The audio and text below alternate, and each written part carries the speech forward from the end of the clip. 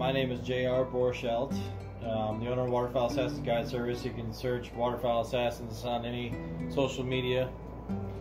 Don't have Twitter, but uh, Facebook, Instagram.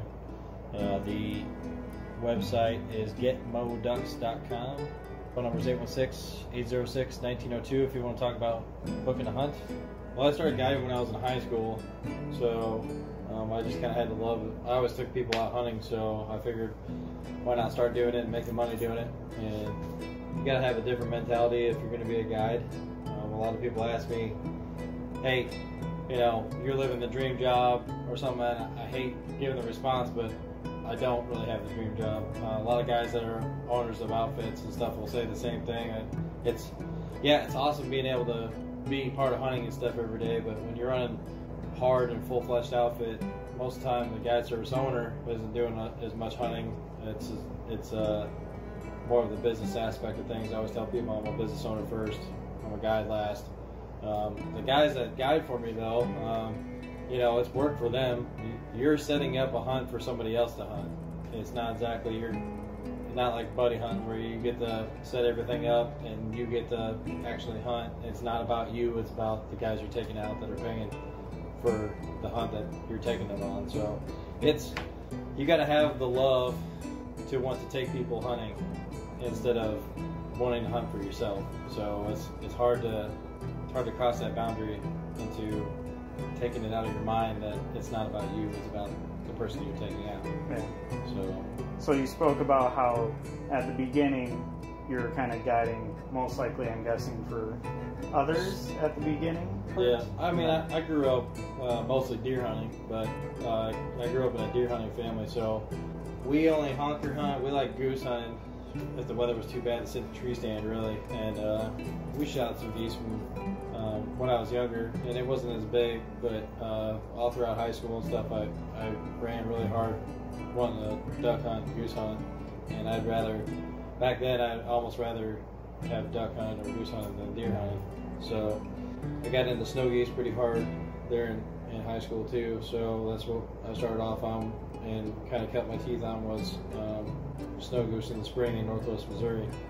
And then after high school, I decided to kind of do my own thing, and um, that was you know the early 2000s. There was no social media, there was no Facebook, there was no Instagram, there was no Snapchat, there was no Twitter, you know, no Tinder, no nothing like that. So it was uh, even my my cell phone back then. I don't even think had a camera on it. So you know, I carry those waterproof disposable cameras around. You you take a picture and then you gotta like swipe it like ten times. It was just to take pictures of, of out hunting. So I got a, a bunch of pictures from back in the day that are in a box somewhere of decoy spreads and our, our hero pics or whatever you want to call. But it was never like it is now. Like now, we're representing companies and uh, that sponsor us or, or we're affiliated with. So we are taking product pictures in the field and, and throwing those kind of posts out there on social media and everything. And uh, back then, it was like I barely even had a website back then. Most of it was all word of mouth. But now it's so much different than what it, it used to be, and it's uh, it's driven me to be more economical as far as what I spend on advertising. If, if you do most of it for free on social media, then why would you ever pay someone to really do that? I mean, I put some money into my website.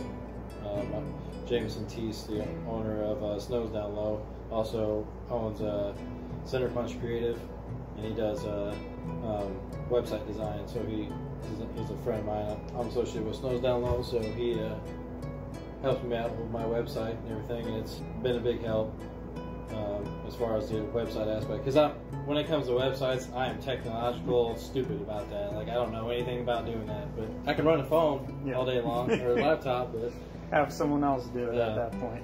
it's it's come a long way since the early 2000s, you know. So it's um, in the last 18 years that I've owned Waterfowl Assassins. It's it's been crazy how much things have changed in the last 18 years since I started to now. You know, and I I took it full time.